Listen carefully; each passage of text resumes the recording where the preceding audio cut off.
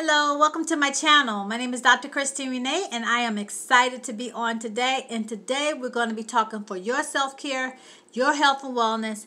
If you are a caregiver, caregiver support, and spirituality, we're going to be talking about empathy. Mm-hmm. Yes. Emp- empathy. Are you empathetic? If you are a caregiver, nine times out of ten, you are.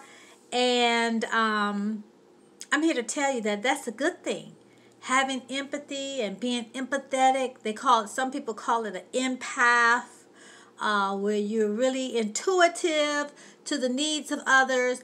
And basically, you just have like a servant spirit. You can put yourself in someone else's shoes, whether good or bad. The circumstances may warrant that it's not uh, good for the other person, but you can put yourself in their shoes and feel compassion for them, wanting to help them and wanting to uh, serve. That's a good thing. But I'm here to tell you that you have to be careful. Mm-hmm. Yes. I hate to be the bearer of bad news, you know, and if you're a caregiver, you have to be careful too because you don't want to burn out, okay? Giving all you got, giving everything to the last drop of sweat, okay?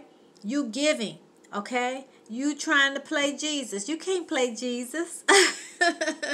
well, what I mean by that is that he came and he died for everybody. That was empathetic. He came and took our place, okay? He took the place of sin for us so that he could be a sacrifice, so that we can have fellowship and communion with God. He was empathetic for us. He said, Father, send me, I'll go. I'll be a sacrificial lamb for all the sins of the world. Okay, I'm preaching right now. I said we add spirituality here, but what I'm trying to say is that you cannot play God because you're not God. You can be empathetic, yes. You can be very concerned, yes. But you have to know when to cut it off and when to say no and when to set boundaries. All right?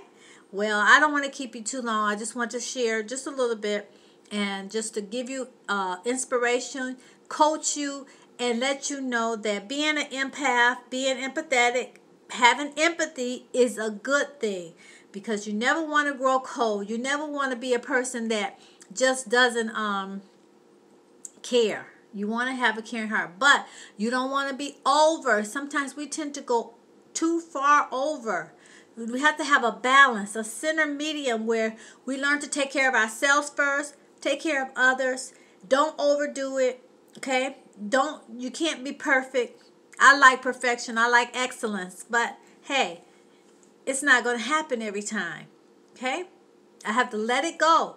Let go. Take care of mom sometimes and just give it a rest. Give it a rest. Rest and get your breaks, okay? I'm really big on that. Well, listen, I'm going to go. Today's uh, video was about empathy, empath, being empathic. We'll come on and do some more uh, discussions about that. But I just want to say thank you for joining me today. I hope something I said was of value to you. If you like the content, please give us a thumbs up, okay? That helps the algorithms know that we are here to talk to people about self-care, health and wellness, spirituality, and caregiver support. If you're new to this channel and you like the content, hit the subscribe button as well. God bless you guys, and I'll see you on the next video.